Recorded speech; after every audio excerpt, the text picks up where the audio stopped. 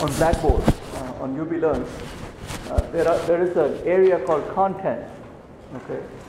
And in that content, there are a whole bunch of things that are that have been put in there. It took me about an hour and a half to figure it out because the thing wasn't working the way it was supposed to be working. But at any rate, now it is. So what you have to do, I'll give you an email very soon, probably in a day or two. So what I want you to do is go through three of those SLIs, science literacy index, whatever, modules. Uh, you will see that it's a whole bunch of PowerPoint pages. About 10, 15 pages, I think, per module. Uh, but it's supposed to be on topics that are of general interest, and, and, the idea is for universities to make sure that students are, are aware of some of these general interest stuff, like global warming, ethics, blah, blah, blah, these kind of stuff. Uh, they're interesting. I mean, I've gone through most of them. They're pretty interesting. And, and, for somebody who is unaware, it's a pretty good thing. It's pretty easy to do. It's, you just sit and go through it. However, I am supposed to test you on it, and that score goes to the uh, undergraduate uh, dean's office because they keep track of whether this is being done, and that's part of, a, of the university's overall reporting system to an accreditation board. So this is not a big deal, but at the same time, the data is a big deal because I am supposed to report this data to the university, and this is one of the courses in which I'm supposed to be doing this.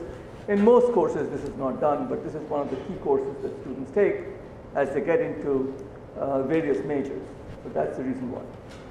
So, so you'll get an email from me telling you which SLIs you want to go through. There are three of them that's required. And I will throw in a few questions in the final exam uh, that will be on this stuff.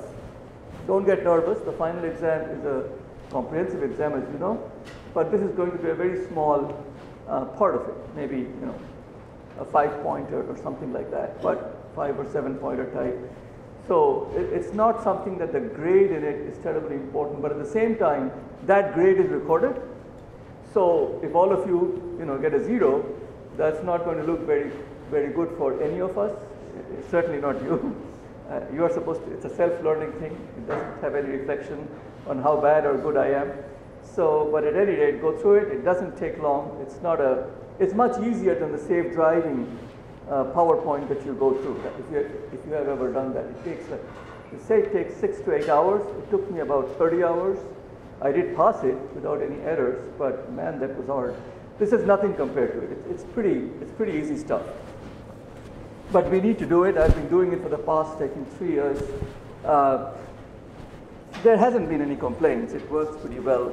So I don't think you'll have any trouble. But be sure that you don't wait in getting it done. And the reason I say this is because, as you know, it's a comprehensive exam. So I'm going to give you a prep sheet again for the final exam uh, sometime early next week.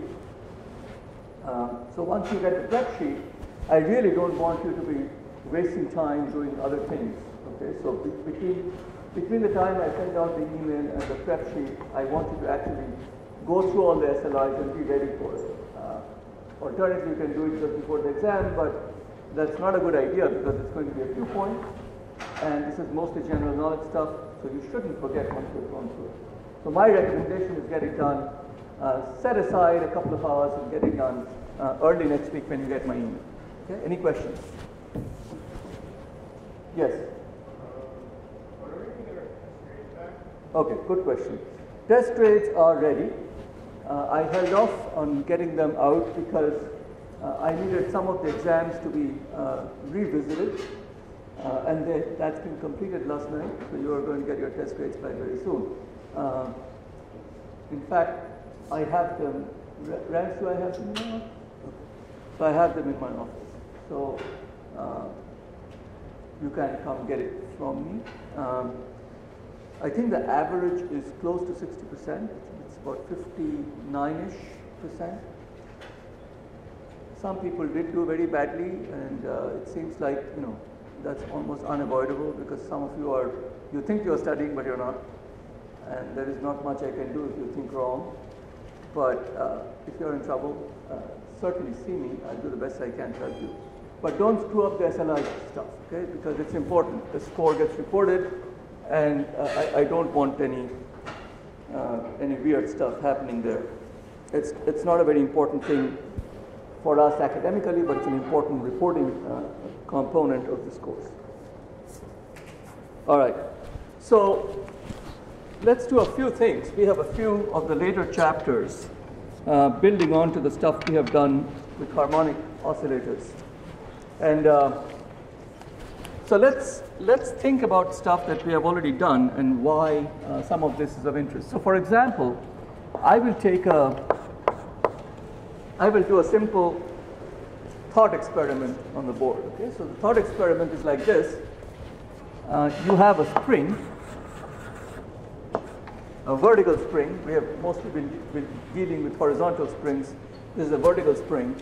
And suppose you have, you have a mass here, and you have some kind of a recording device tied to this mass, and uh, you, have a, you have a string that's attached to this mass that ties into a wall.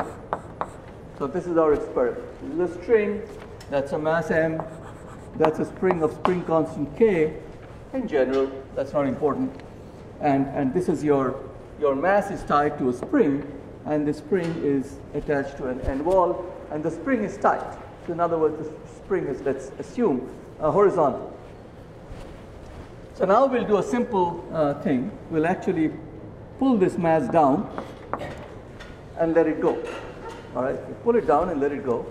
And what do you expect will happen is that the mass will essentially bounce up and down, right? So as the mass bounces up and down, what will happen is that this end of the string will start to be moved up and down, and that end will be fixed. And in the end, uh, as it starts to move up and down, you'll basically see that there will be waves like this in which the spring will be dancing. So as the mass goes back and forth, these waves coming from the fact that the string is tied to this mass will go back and forth.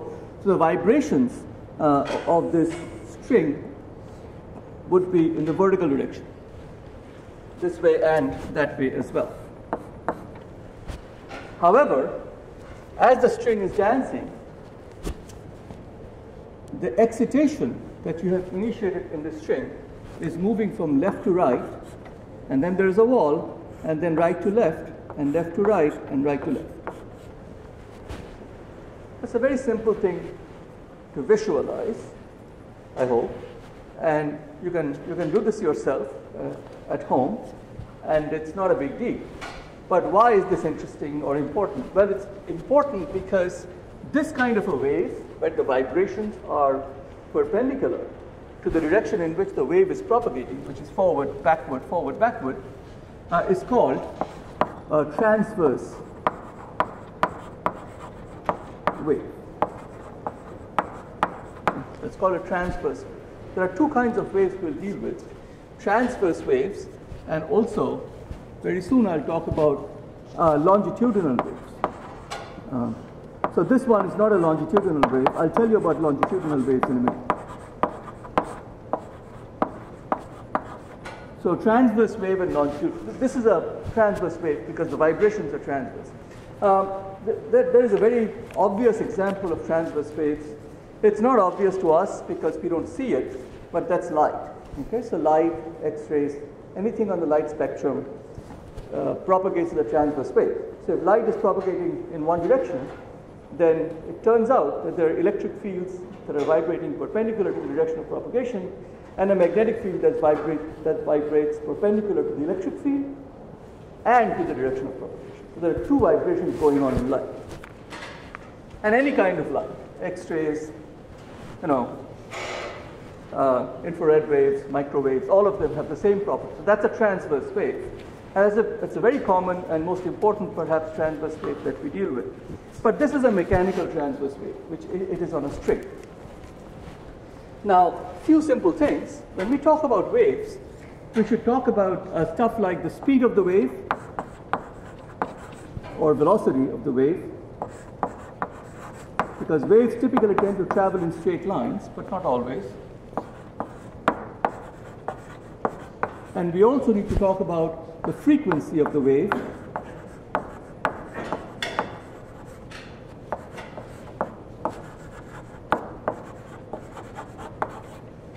As well as um, the wavelength of the wave.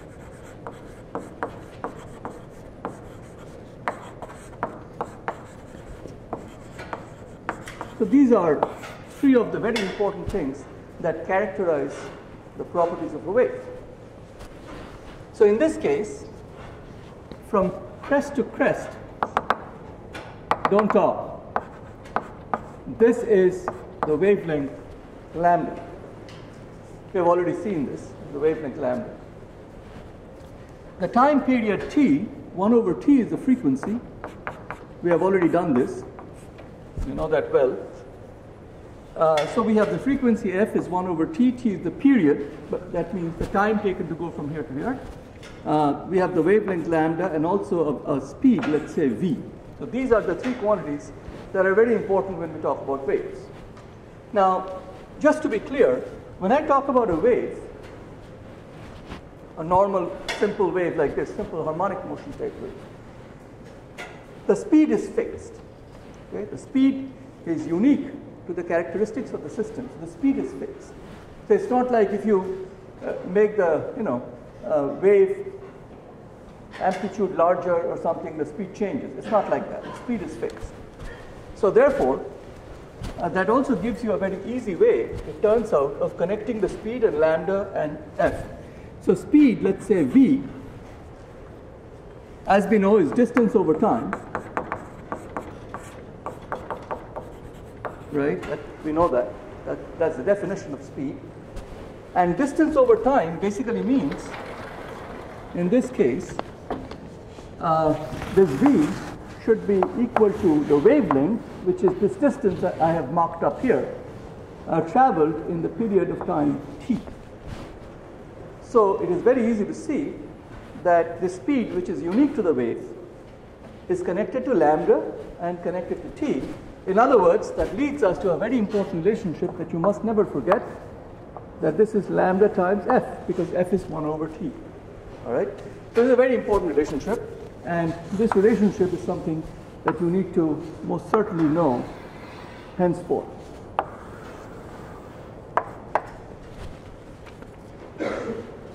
So this is one way of relating the speed of the wave to the wavelength and the frequency. So in other words, I said this is fixed for a wave. So if this is fixed for a wave, does that mean lambda and f are also fixed? The answer is no. Lambda can vary and correspondingly f can vary, but lambda times f is a constant. That's the idea. Okay? Don't, don't forget about it. It's very important for the fundamentals. Lambda times f is a constant, but it turns out that these two can vary. There is another thing that's going on here. There is actually another way of finding uh, the speed of the wave in the string like that. So that's a completely different way. It's another way to find the speed of a wave in a string.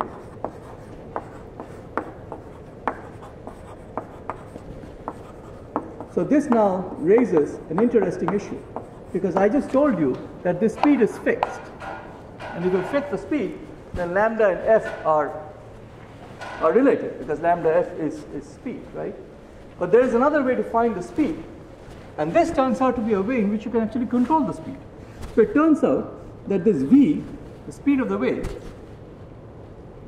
is equal to the tension in the string. I'll call it ft because very soon we'll be using big T for temperature. So, so as not to be confused, I'll call it Ft, which is the tension, which is how tight the string is, uh, divided by the mass per unit length of the string, which I'll call mu, square root. So you can do some simple dimensional analysis and see this comes out to be the speed of the wave. So here let's define them then. F of t is the tension in the string. So what I'm telling you is that if a string, suppose you are fishing, yes. I'll tell you. Hold your horses. So mu is mass per unit length. All right. So tension in the string is very important because if I make a string very tight, then it means that the wave speed will be faster. So the, you, you should know this because if any of you have played the piano or the guitar or something, the tension in the string is very important, right? That's what you are that's what you are typically very concerned about, such that you don't get a lousy sound at the other the other end. What you're really dealing with is the material, which is which gives you the mass per unit length, how long the string is, what material it's made of, which fixes its mass. So mu, therefore, has to do with the material of the string, and how tight or how loose the string is gives you the tension in the string, and that in turn gives you V, okay, the speed at which sound travels through the string. So it turns out then that if you want to control this V, this is the way to do it. These are the two guys. So mu therefore is the mass per unit length of the string.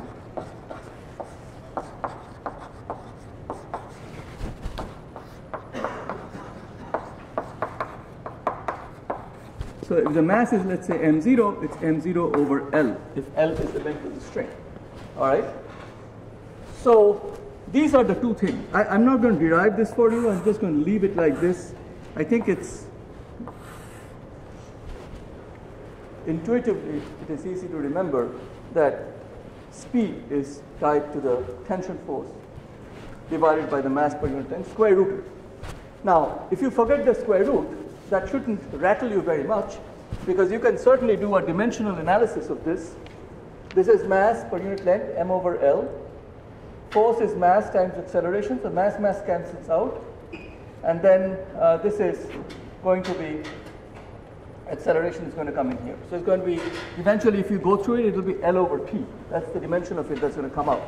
So from purely dimensional considerations, you should be able to see that this formula makes sense, although it doesn't lend itself to being derived from purely dimensional considerations. All right. So all of these that I've talked about are for transverse waves. Suppose you have gone fishing. So here is your fishing line, uh, and you have caught, let's say, a nice fish. And the fish looks should not be happy about it. And the fish, let's say, is tugging uh, onto this onto this string, and what you will feel is that you will feel a tension Ft. Uh, and of course, the fish fishing line is made out of certain material, so you'll have divided by mu. So that will actually give you the speed of sound in that fishing line, right? So if you catch a big fish, the speed of sound will be higher. If you catch a teeny tiny fish, your speed of sound will be not so much. So these are relatively simple things to do. Uh, we covered these for a variety of reasons. Much of, much of it is really uh, knowing the basic applications. But thus far I've been talking about transverse waves. Let's talk about longitudinal waves a little bit. So, what are longitudinal waves?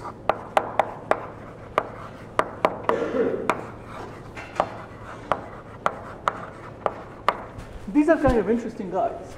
So longitudinal wave essentially is a wave. So suppose the wave is propagating from left to right. All right? A longitudinal wave is basically some initial pressure pulse. So it's like a pressure pulse. For example, I'm talking to you, which I am. So as I speak, some energy is being transmitted through the air, right, from my mouth all over this place, hitting your eardrum, tympanic membrane, or whatever, and eventually your brain is interpreting what I'm talking about, right? So, how does the sound go from my mouth to your ear? Basically, it's a pressure pulse that is traveling through the air. That's what's happening. So if there weren't any air, if we were on the moon, and this classroom were on the moon, I would be talking away, and guess what? You won't be able to hear me. Because there is no pressure pulse that will be going from me to you. Now, if the temperature in this room is very cold, I'll sound different. It turns out that for relatively small variations in temperature, it won't sound very interesting. It would sound about the same. But if the temperature goes real low or real high, then if you actually measure it, the sound will be different that, that you will hear. Okay? So at any rate, it's a pressure pulse, and this pressure pulse is moving forward. So actually it becomes like this. Original density was something, so, the, so this is a dense region, and so this dense region hops forward and so on and so forth. That's how a longitudinal pulse propagates. It's a longitudinal wave. So an example of longitudinal wave is sound wave uh, through air, for example, water, etc. It's actually a sound wave. That sound wave is essentially a longitudinal wave. So you can immediately see that the speed of this wave is going to be strongly dependent upon the medium through which it's propagating. So for example, sound speed in air, so let's call it c, sound speed in air. Uh, this is about 330 meters per second, depending again upon temperature and so on and so forth. But that's typically the sound speed in, in air. Again, sound speed is sound speed. It doesn't matter if it's a chipmunk who is making the sound or if it's me who is making the sound, because the speed is the same. It's the frequency and the wavelength that would not be the same between me and the chipmunk. The chipmunk will have a higher frequency. So higher frequency would mean a smaller wavelength.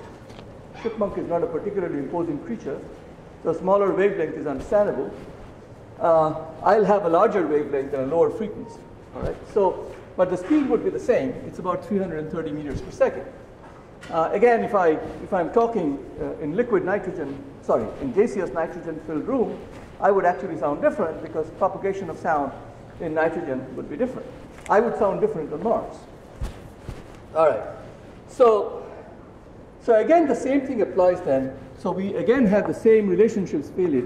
So C therefore will be lambda times F, or you can call it V, whatever.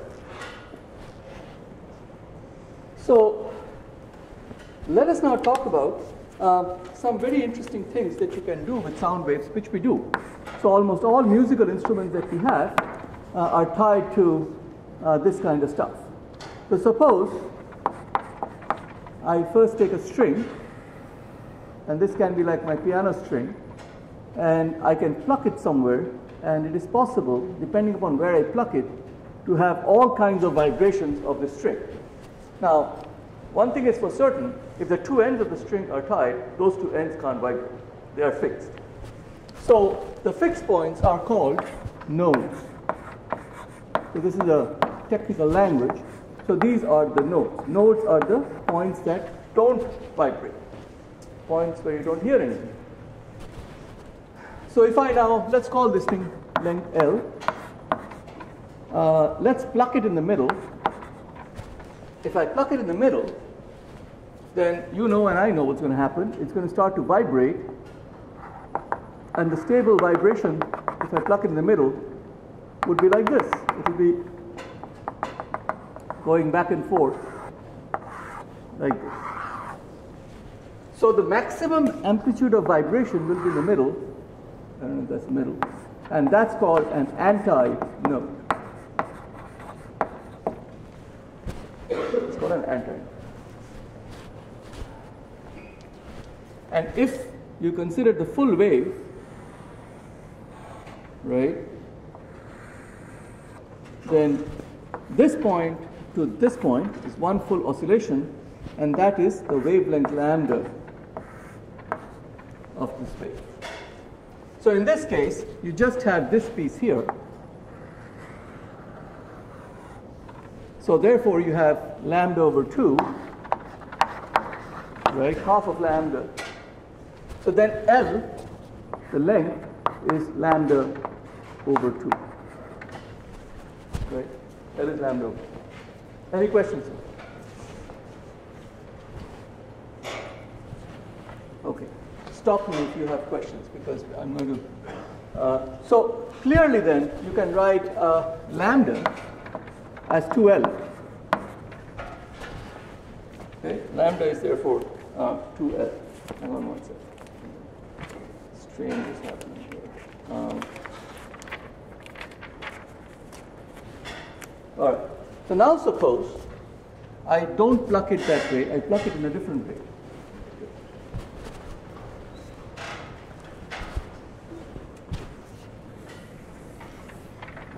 I plug it in such a way that I now have a vibration which is this. Again, nothing can happen at these two points because these are the nodes and the wave is going to go like that and come back out. So the steady state pattern would be like this. So this point now will also become a node. These two are already nodes. And uh, these two will be the anti-nodes. So anti-node will be here and also will be here. So clearly you can see that the, the, vibration here is different and it turns out that the entire wavelength lambda will be equal to L. So uh, that's easy to see. Since speed is fixed, uh, I already know that uh, sound velocity v is frequency times lambda. So lambda is 2L. So f times 2L. Therefore, the frequency is going to be v over 2L. Can you go lower than this frequency in this case? Two ends are fixed, right? So question is, can you go lower than this frequency? In other words, can you sustain, can you sustain a wave, a propagating wave going back and forth, which is less than this in length? So can you, for example, think about making a system, this system, where this point is frozen, that point is an anti-node. That's not possible because I've already fixed this end, right? So I can't, I can't allow this here. What I can allow is this. So in other words, I can't go less than this wavelength here. It's not sustainable, which is why I'll call this, uh, I don't know if I call it, I call it FZ, F1. So this is the lowest frequency I can get. All right. This is the lowest frequency. I can't get a lower frequency. So once I fix L, this is the lowest frequency I can get. However, here I, I have uh, F2 is equal to V over lambda now is equal to L. So V over L, and therefore F2 will be twice F1. So I can get the next frequency up, an integer multiple, twice the old frequency by, by creating this vibration.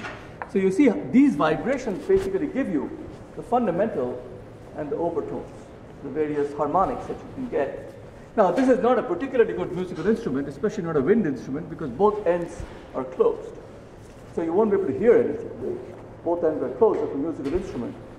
You won't be able to hear it. But this is a perfectly fine string instrument, for example, a guitar or a piano and what have you, because there, two ends of the string will end up being fixed, and therefore, this kind of vibration would be possible, that kind of vibration would be possible, and so on and so forth. All right? So, depending upon what kind of wave you are initiating, how the string is set up, what are the boundary conditions, you can get all of these. So, the other thing that you can also do, for example, you can go even higher in frequency.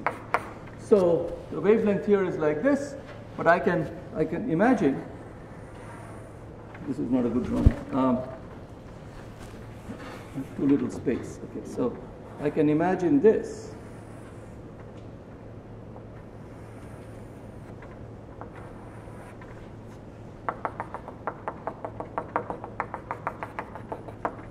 So again you have nodes, but now you have three antinodes. So all of these are antinodes. Instead of two antinodes, you have three antinodes. One, two, three.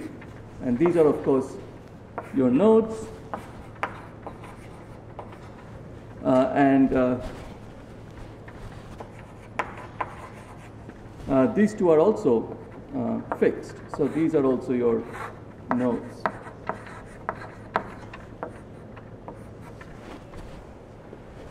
So you have three antinodes and four nodes. So these are actually real. Whenever you take a string instrument, you are actually exciting all these vibrations. So now you see so this is lambda over 2, another lambda over 2, another lambda over 2. So you have 3 lambda over 2. So L therefore in this case is 3 lambda over 2. So therefore this implies that lambda is 2 third L.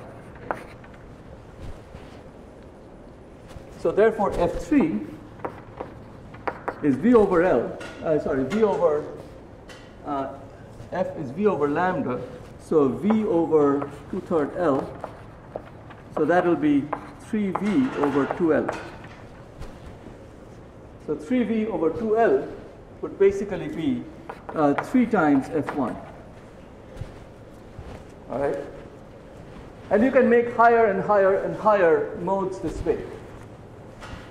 And that's what we typically do when we have string instruments. We can put them up into all these different vibrational modes. Again, as, as you can see, uh, this is really very simple geometry, and you have to understand the conceptual foundation of how this is being done. But if you have ever played the piano or played the guitar or any other string instrument, then this is the dynamics of it. But you have two nodes, and then how many antinodes and nodes you can generate in between the two fixed nodes is what sets the frequency uh, and the wavelength that, that you have. Of course, human hearing, hearing is only over a certain range of frequencies. So our musical instruments, therefore, for example, are tuned in such a way that it's nice to hear. Some sounds one may not like, some sounds one may like, but that's because of what frequencies your ear uh, prefers and what it does not. Okay? So that kind of stuff comes in. All right, so I can I can add a, a word or two. Think about a wind instrument, for example. In a wind instrument, typically there is some open uh, end. That's how the sound comes out. So let us say you have a wind instrument like this, where one end is closed and one end is open. So clearly at the closed end, you'll always get a node. And clearly at the open end, you want to have the maximum vibration, the maximum vibration will come out at the open end. So chances are, almost always, to have a stable uh, propagating sound, uh, this will end up being an anti. So now you have opened the possibility of actually taking the frequency lower than what you had before. So if I think in terms of amplitudes, There is no amplitude here, like just like I did there. This, this, think about this as air, okay? So it's air filled. So this is the amplitude of vibration of air molecules. So this amplitude is really how hard the air molecules are vibrating like that, but I'm plotting it along the y-axis. So it will turn out at nodes there is no amplitude, but here it will be like this. Now, if you look at the wave that I have drawn, this therefore will be lambda over 4 because this, this, this, and this make up the full lambda. So this piece is lambda over 4, right? So therefore, lambda over 4 will now be equal to L if this is my L. Now you see you're actually creating a, creating a wavelength which is, uh, you're creating a frequency that's smaller because uh, we know that V is F lambda and uh, so lambda is equal to 4L from here in this case. So that will be F times 4L, which means the frequency is V, which is fixed in air, divided by 4L. So you see now, this is smaller than V over 2L, which is the F1 I wrote, right on the top there. So I can call it uh, F0, if you will, that is the lowest frequency I can hit.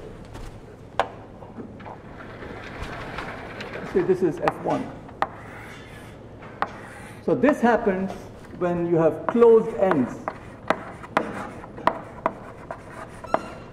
The lowest frequency for closed ends. And this happens for an open-ended wind instrument, for example.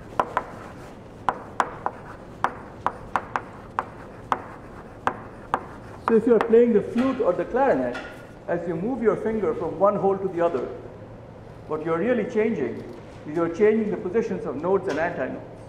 Okay? So if you open the hole, that means you're allowing for an antinode at the position of the hole. If you close the hole, you are allowing for a node at the position of the hole. And therefore the frequency will change as you play your clarinet or flute, depending upon which holes you open and which holes you close. And obviously it's very complicated because you can play with multiple holes being open and closed, and that will give you a rich array of sounds, but each of them will have basically the same kind of configuration that I'm talking about. Any questions? Observation? Anybody who is an expert musician here? Really? Hey, you guys have been shy. Most of my most of my 101 kids are far better musicians than I am. So uh, think about it. Next time you play your musical instrument, whatever it is, you're actually dealing with the stuff that I just discussed. Okay, so there is another small topic on which I want to spend a bit of time.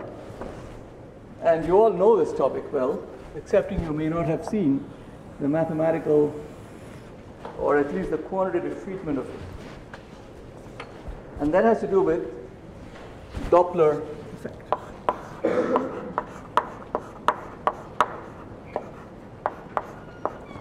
The reason why I'm doing uh, these things are because they're important and interesting applications. Doppler effect, for example, is very heavily used in so many different applications. So for example, if you are standing in a train station or if, if you're standing on the road and somebody's playing the horn, as this person comes closer to you, it would sound different. And as the person goes farther and farther away, the sound will change, right? That's Doppler effect. So as it comes closer to you, the frequency goes up and your ear picks it up. And as it recedes farther and farther away, the frequency goes down and your ear picks it up. So that's Doppler effect.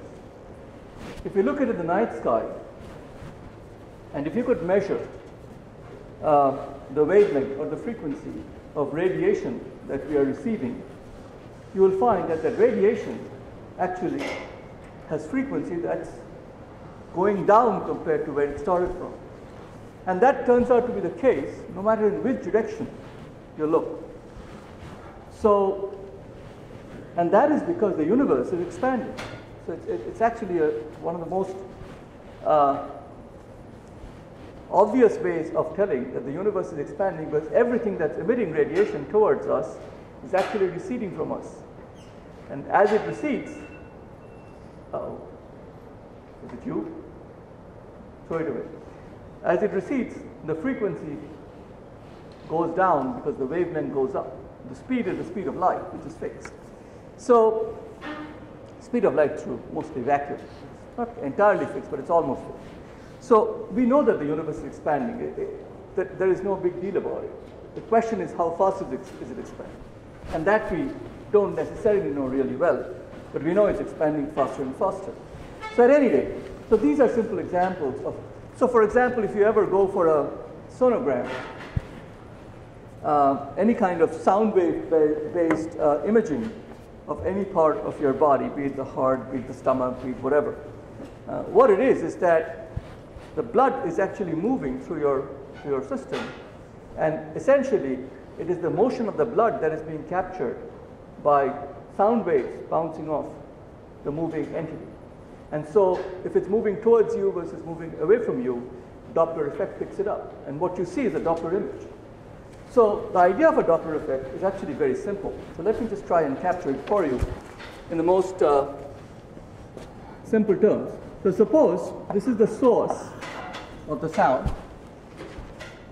And suppose here you are, the listener. I'll make things very simple here just because the concept itself is very, very simple.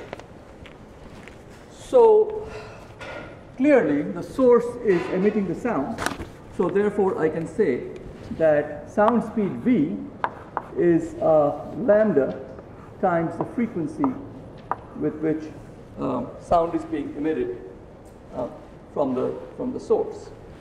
And therefore, I should be able to write that the frequency of the sound being emitted from the source is going to be the sound speed v over the wavelength uh, lambda. So in this case, both are fixed the source is fixed and you are also fixed, you are not moving. So there is no Doppler effect. So you should be then able to say that the frequency of the source, which is V over lambda, in this case the frequency that you hear, we call it FL, this is Fs. If both are fixed, then FL, the frequency that you hear, should be exactly equal to the frequency of the source because there is no reason for it to be different. You are standing put. The source is also uh, fixed in space. So whatever frequency is being emitted is basically what's hitting uh, your ear. So now suppose that the source is fixed and here you are the listener and you are moving towards the source.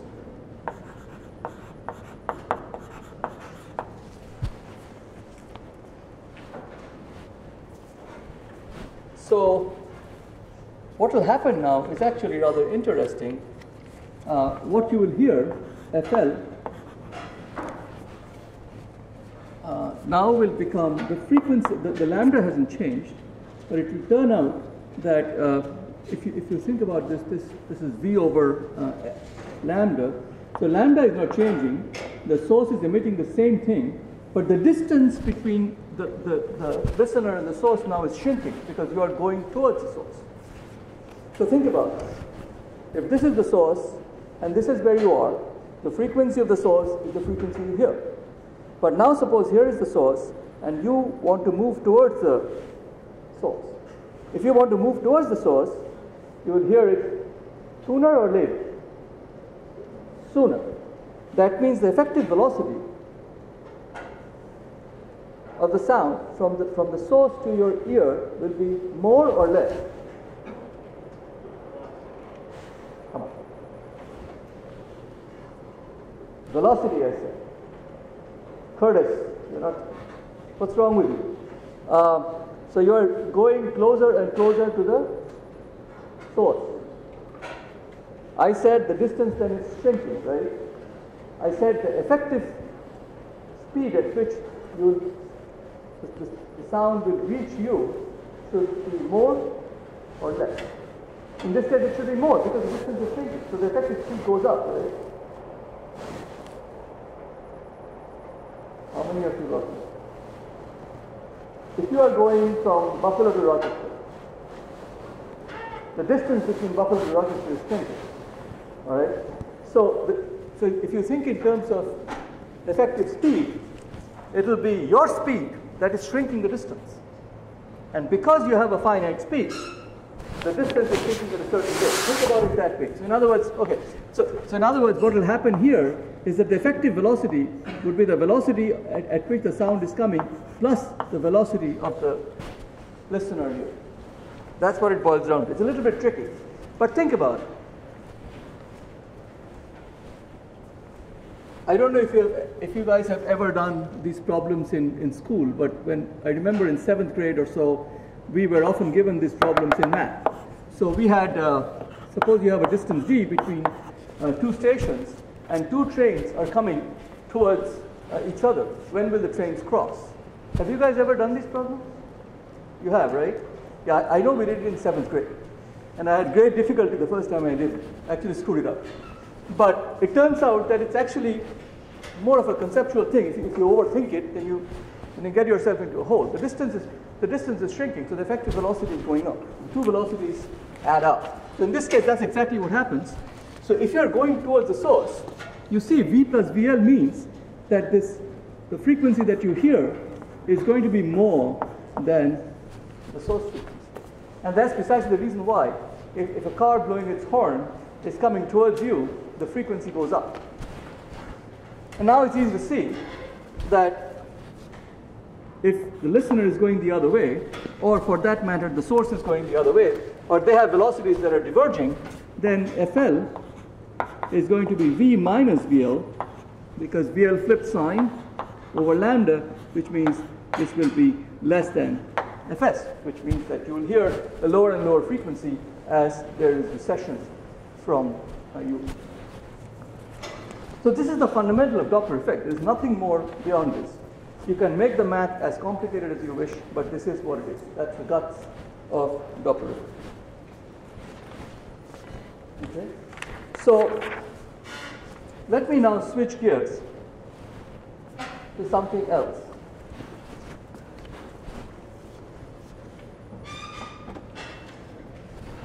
Let's take water in a container.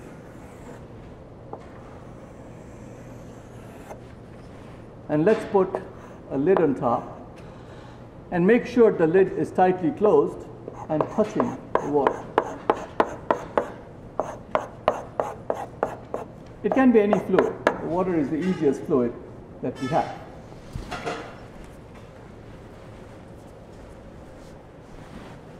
So I said it's touching the container, which means I'm pressing slightly onto the fluid with this lid, and let's say I'm applying a force F by pressing it here, and let's say the cross-sectional area here is A, so the pressure therefore would be F over A that I am exerting on this fluid. It can be a gas as well, it doesn't have to be water. But a liquid is, a, is an easy thing to think of. So if I put a pressure here, the fluid does something absolutely bizarre. What the fluid does is almost instantly as instantly as possible, this pressure that you're putting on the top will end up getting transmitted all through the fluid, undiminished. Undiminished. So, in other words, if the pressure here is P, the pressure here would be P, here would be P, here would be P, here would be P, smack in the middle would be P. Everywhere the pressure would be P. In fluids, by the way, Newton per meter square, that unit, is referred to as Pascal after Pascal. So, so this is an interesting result then that, that, the, that the pressure is, is sent undiminished to the whole system. Now, this particular observation that the pressure is the same is called Pascal's principle. So Pascal's principle basically says that if you, if you apply a pressure on the fluid, every point in the fluid picks up the exact same pressure.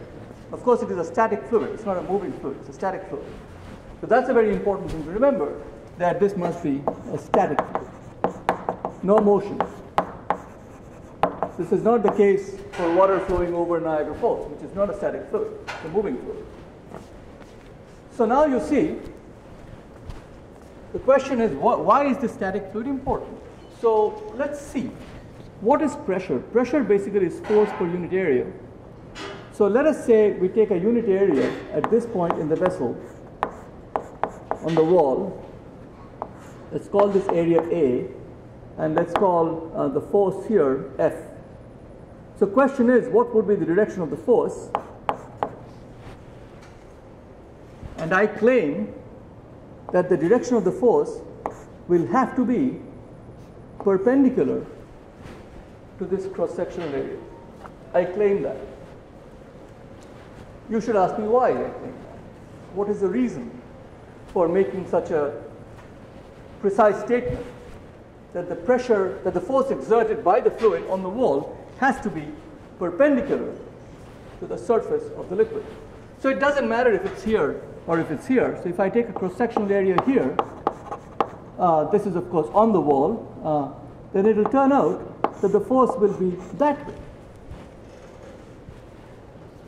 So in other words, the force, whichever surface you put, the force will be perpendicular. So that's a very interesting and rather bizarre thing. So let's say why it has to be that way. Suppose it's not that way. Suppose the force is not quite. So let's assume, let's assume for now uh, that what I said is wrong, and the force can be this way or that way. It can be tilted. Force can be tilted. If the force can be tilted, then by decomposition of a vector uh, along x and y axes, I know that I can break this force into a perpendicular piece and a parallel piece, right? Anything that is tilted, I can break it into a perpendicular piece and a parallel piece. You have been doing this since January. So the perpendicular piece is obviously there. So, so, so you can't say that there is no perpendicular piece or in other words, there is no perpendicular force on the cross section. You can't say that. It has to be there, if there is any force at all. However, if there is a force which is uh, that way, so in other words, that's parallel to the surface, it turns out that there is no way you can stop the fluid from moving. Because then the fluid will start to flow along the edge of the wall. Okay? So what that means is that you can't have a static fluid if your force isn't perpendicular. It has to be perpendicular for it to be static. So these two are very important tied criteria. You can't have a static fluid if the forces are not perpendicular. All right, so why am I saying this? I'm saying this because it is very important that to recognize that this force is perpendicular to the cross-section area. It turns out though that force is a vector. Uh, um, what am I doing? Let me. Force is a vector. Area, actually, although we haven't done this, area also is a vector because area can be typically concave or convex, depending upon how the area is oriented. So area can also be a vector. So area vector is typically outward and so on and so forth. So anyway, so these are these two are vectors, but pressure P actually is a scalar. Pressure has no sense of direction. Pressure is a scalar. So here you have one scalar quantity pressure that emerges out of two vector quantities, force and uh, area. So the reason why this is important is because Pascal's principle turns out to be something that you, you use often. Every time you go uh, to get your car serviced, for example, you're actually using Pascal's principle. So here, for example, you think about one of these hydraulic jacks where uh, I, am obviously making a cartoon of this. So if it's a bad drawing, uh, you should forgive me for that. So this, for example, let's say uh, is a fluid, and the fluid has the fluid is sitting in two different uh, chambers connected by a by a pipe uh, between the two chambers. So here you have your fluid, and I already told you that every point in this fluid, by Pascal's principle, is a static fluid right now. So every point in this fluid will have the same pressure. So in other words, if I fix this cross-sectional area and apply a force A, then F over A is going to be the pressure P here. Let's call it F1 over A1. And the, that pressure P is then everywhere in the fluid because it is a static fluid. But now you see, if I make this cross-sectional area A2, then I'll wind up with an F2 such that I get the same. So when you go to, to uh, the, when you take your car to the shop and the mechanic wants to look at the look at the car, wants to lift it up, this is the hydraulic jack that is typically being used, which I'm sure you've seen. So it is easier to lift a car by using the right kind of hydraulic jack because you apply a certain pressure. This cross-sectional area and the F you apply is up to you. Whereas here the car may be sitting, that's where your car may be sitting, and this will get lifted up, but if the cross-sectional area A2 is larger, then corresponding the F2 has to be larger as well. So in other words, it's almost like something or nothing. It's not quite like that, but it's almost like that. Does it make sense? Yes. Then you are just increasing the pressure. Why would you do that? Eventually the fluid will be very unhappy with you. so, so F1 over A1 is what you apply. So you can take a tiny little area in which you just you just pump the fluid there with your foot. So you're building up a certain pressure in the fluid, and the fluid basically transmits that pressure instantaneously everywhere, right? So now you have your car at the other end. The cross-sectional area is large, so whatever pressure you have given, the force will be therefore larger to give you the same pressure. That's the idea. However, that doesn't mean you are getting something out of nothing because what you are doing is the work done, right? The energy you're putting in. So the work done here is going to be force times distance.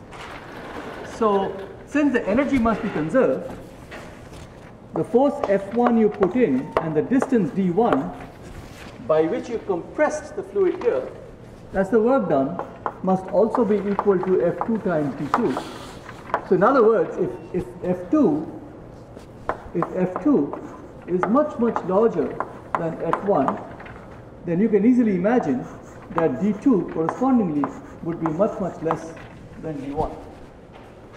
In other words, you may have to pump 200 times to lift the car, lift a heavy car up, each time getting a tiny little D2, and then summatively, with all the D2s taken into consideration, you can get the car up to the point you want. In other words, you keep pumping uh, as much as you can. So let me stop here now. We, we have some, some more work to do, including getting into atmospheric pressure uh, and Archimedes principle in flowing fluids. But we are doing okay, so let's go to the quiz now and get going.